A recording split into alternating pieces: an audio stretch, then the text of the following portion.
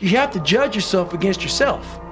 And that's the one thing I started learning, man. This isn't a race against me and Rich Roll.